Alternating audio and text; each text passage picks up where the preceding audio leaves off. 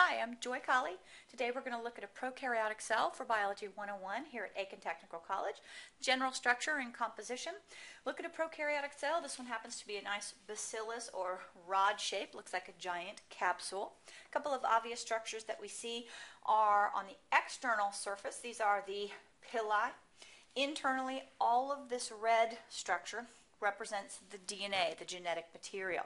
In a prokaryotic cell, like a bacteria, like this one, there is no nuclear envelope. It's not contained within a membrane. It's loose throughout the cell. The cell has a cell wall made of peptidoglycan, which surrounds the plasma membrane. Inside of the cell, we use the same terminology with all cells. Everything is the cytoplasm. The liquid is the cytosol.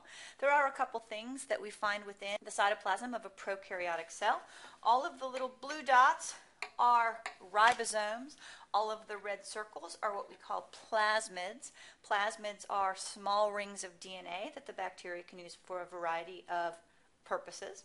This cell also has an external structure, the flagellum. Flagella is used primarily for motion or propulsion of the cell. Inside the cell, there is a little white structure. We refer to that as an inclusion.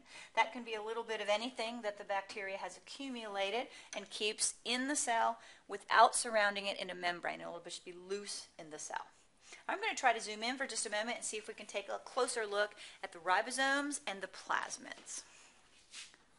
Okay, here we've zoomed in on a prokaryotic bacterial cell. We can see a little bit of the DNA material loose in the cell. Once again, the blue dots are ribosomes for protein synthesis, and the red circles are plasmids, mini rings of DNA. We get a nice view of our cell wall versus our plasma membrane, and of course, our flagella for propulsion. All right, that's our prokaryotic cell.